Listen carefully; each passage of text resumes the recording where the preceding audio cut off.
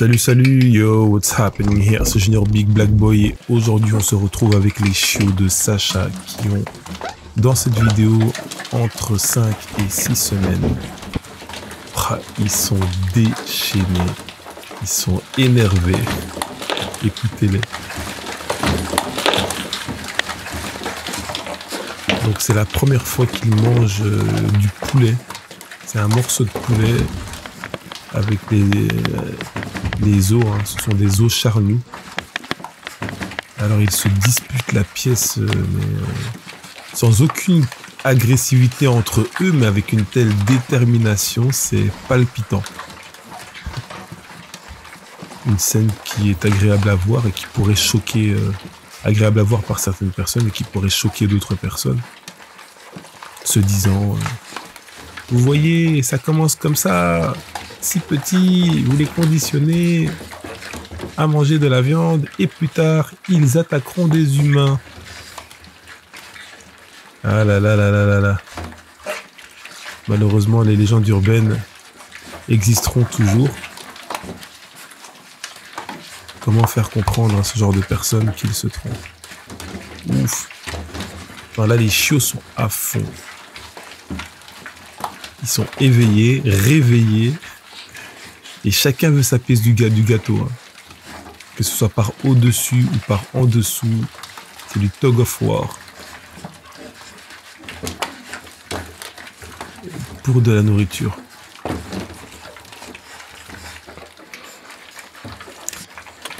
Alors, on aurait pu euh, réaliser le sevrage à base de croquettes ou réaliser le sevrage à base de viande crue. Euh, le régime à base de viande crue s'appelle le raw feeding. Ah, communément, on a l'habitude de parler de barf, mais euh, maintenant j'irai un peu plus dans, le détail parce que je parle moi-même souvent de barf, mais euh, mes chiens sont nourris essentiellement au raw feeding, qui veut dire littéralement nutrition crue. Mais le barf est aussi euh, basé sur euh, un régime de nutrition crue. Sauf qu'à la différence, euh, on va se retrouver à donner des, purées de légumes et des purées de, fruits en plus. Alors que dans le raw feeding, le régime sera composé essentiellement de viande, de viande, de viande crue, de viande rouge ou viande blanche, ou de poisson, et accompagné de d'os charnus et d'abats, des abats, comme des cœurs de poulet ou des, des gésiers pour le côté musculaire, ou alors des foies, foie de bœuf, euh, foie de poulet, peu importe. Ah, ils y vont. Et le sol glisse en plus, hein, parce que là j'ai retiré le, la couverture, j'ai retiré l'antidérapant. Là le sol glisse, ils patinent, hein, les chiots, ils patinent pour pouvoir savoir leur part du gâteau et ils font preuve de détermination. Chose qu'on aime voir chez, euh, chez nos chiens. En tant que passionnés, amateurs pour certains, puristes pour d'autres.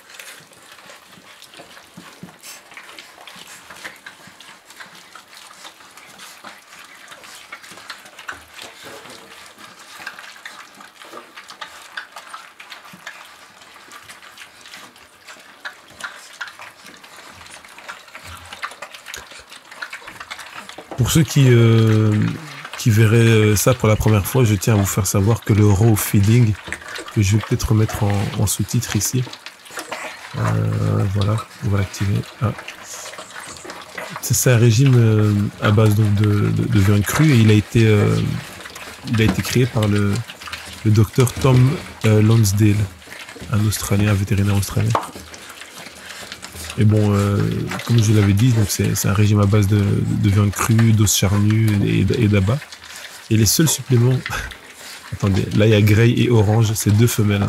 C'est deux femelles qui euh, se disputent leur part du gâteau. J'adore ces deux, ces deux femelles. En fait, j'adore toutes les femelles parce que même la troisième Pink, elle a, elle a un caractère bien à elle et une morphologie bien à elle. Et je suis vraiment très curieux de voir ce que ça va donner plus tard.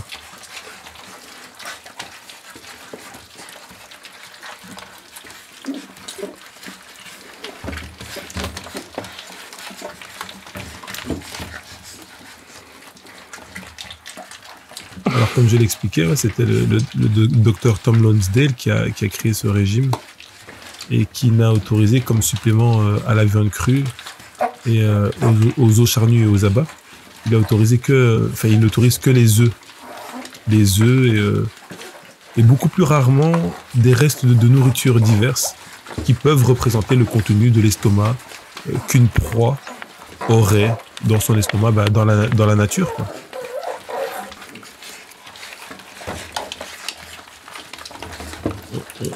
Se marie ici, on, renoue les liens avec euh, l'origine euh, des canidés. Hein. Alors plein de débats, plein de théories. Oui, mais maintenant les chiens ont, été tellement domestiqués qu'ils n'ont plus rien à voir avec. eux. Ah ben ils n'ont plus rien à voir avec les, chiens d'avant et pourtant là ce sont des chiots. Souvent on leur fait un sevrage de croquettes et ils sont pas très très emballés. Mais euh, la viande, c'est que de l'instinct. Hein. Toute cette excitation pour attraper cette viande, c'est pas moi qui leur ai appris. Hein. On dit toujours, ouais, tel maître, tel chien, patati patata. Moi, j'ai déposé là. Pourquoi quand vous déposez, euh, je sais pas moi, un objet, pourquoi il le mange pas, il l'avale pas? Vous allez déposer des, je sais pas moi, n'importe quoi, des petits objets en plastique. Pourquoi il, il, se rue pas dessus pour les avaler comme si c'était normal? Mais la viande, vous la déposez en petits morceaux. On commence par du haché. Hein. On commence par du haché.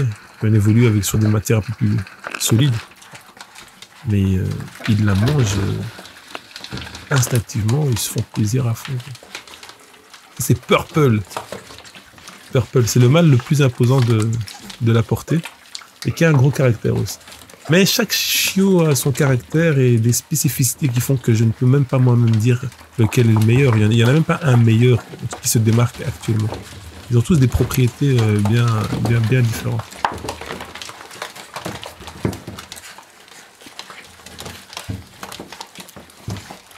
Tout cas, comme je disais, euh, moi au départ j'étais au barf avec euh, Odin et Sacha, au barf. Puis j'ai évolué vers le raw feeding, ça veut dire que j'ai retiré euh, tout ce qui était légumes et fruits. Et les seuls suppléments que je donne à mes chiens, ce sont des œufs. Des œufs ou parfois un peu de fromage blanc, mais c'est très rare.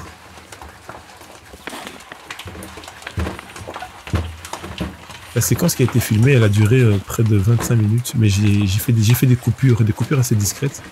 Et vous verrez par après un petit peu des coupures où euh, des chiots uniques s'amusent. Mais Purple, c'est le chien qui a le plus d'autorité. Euh, donc Purple, hein, de, son collier mauve, violet, c'est celui qui a le plus d'autorité sur cette meute. Mais ça ne veut rien dire, hein. c'est un trait de caractère à observer, mais une fois que les chiots vont chacun dans leur domicile, faut continuer d'évaluer comment est-ce que le chiot se comporte dans, son nouvel habitat, dans son, nouvel environnement. Sa nouvelle composition de ménage même.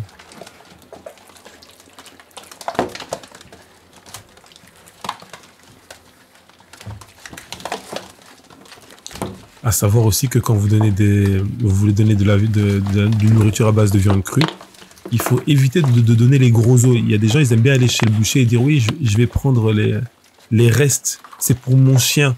Est-ce que je pourrais récupérer les os?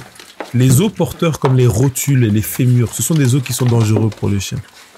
Parce que le chien peut, euh, en tout cas de ce qui se dit, parce que moi j'ai pas encore vécu ça et j'espère ne jamais vivre, et de ce qui se dit par les personnes extrêmement expérimentées dans le monde du raw feeding ou du bar, c'est que les os porteurs des, euh, animaux herbivores peuvent euh, en fait créer une accumulation de, poudre d'os et occasionner euh, une, occlusion intestinale.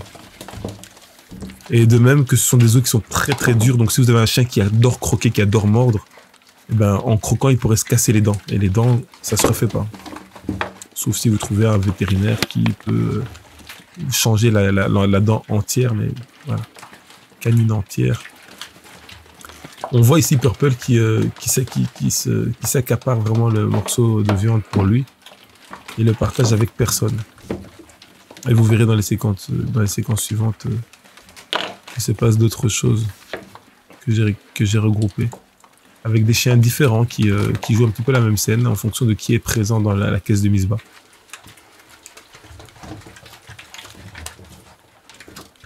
J'ai commencé le sevrage euh, au poulet haché euh, à partir de 3 semaines. Là, ils ont entre 5 et 6 semaines. J'ai commencé avec la viande blanche, le poulet. Euh. Ah, ici, c'est Grey, une femelle, qui est la plus dominante des femelles. Mais les autres femelles ont d'autres qualités.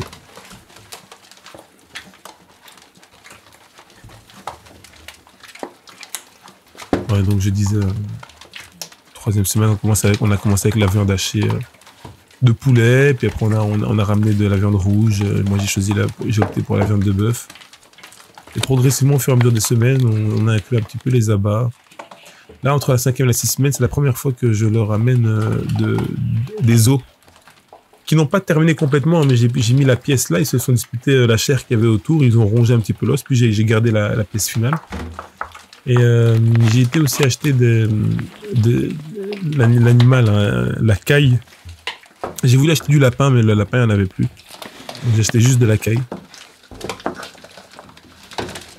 Et euh, dans la vidéo, c'est une partie de cuisse de poulet. Et là, c'est un pilon de poulet d'ailleurs. Les propriétaires qui récupéreront les chiots euh, pourront évoluer et donner soit soit de la viande crue, soit un régime, à, un régime à base de viande crue, soit des croquettes. Ce sera à eux de décider.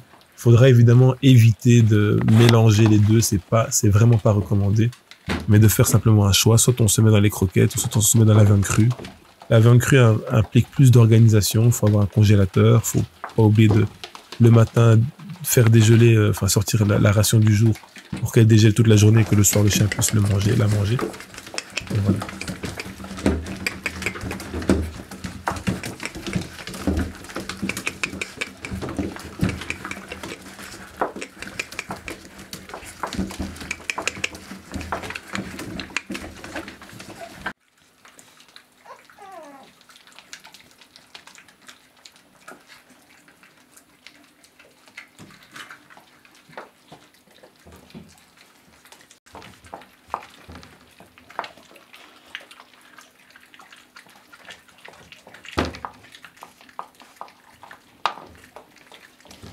Ici, on a Pink et Blue, la femelle et le mâle.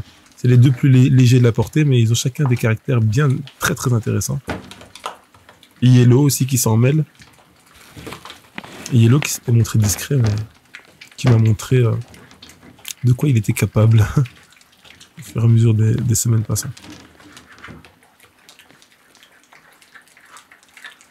C'est une portée qui est très homogène, euh, pas seulement en couleur, mais en caractère. Après, il y a des plus, hein, il, y a des, y a des plus, il y a des chiens plus remarquables, des chiots plus remarquables que d'autres. Sur certaines scènes, peut-être que vous allez avoir des préférences en, fonction de ce que vous avez vu ici, mais moi qui les vois tous les jours, je peux vous garantir que euh, les euh, l'ordre de comment dire, il y a certains chiens qui sont beaucoup plus démonstratifs et beaucoup plus remarquables dans d'autres situations. Donc toutes les conclusions ne sont pas attirées sur les images que vous voyez là, notamment avec Pink qui se fait son petit morceau d'os, sa petite nourriture de son côté. Et Yellow qui vient chercher un, jeter un coup d'œil.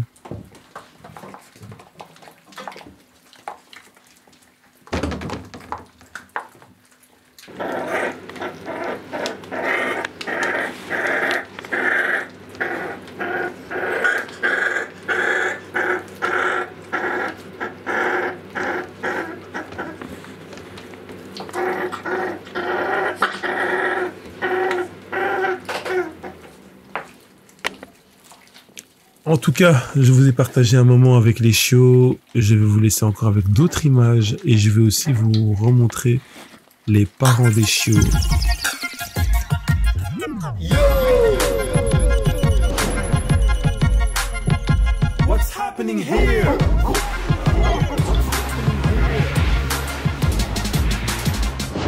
Il reste des chiots disponibles. J'avoue que je suis un peu strict, sinon tous les chiots seraient déjà partis depuis très longtemps. Mais euh, je, m'applique. Je m'applique dans cette tâche et j'ai vraiment envie trouver des personnes convenables dans tous les sens du terme. Et euh, je ne me gêne pas de prendre le temps.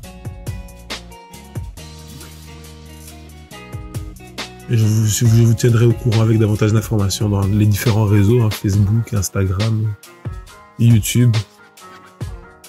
Donc euh, n'hésitez pas à suivre tout ça, à vous abonner à recommander les vidéos, le contenu ou les chaînes auprès de vos, euh, vos amis qui partagent les mêmes réseaux.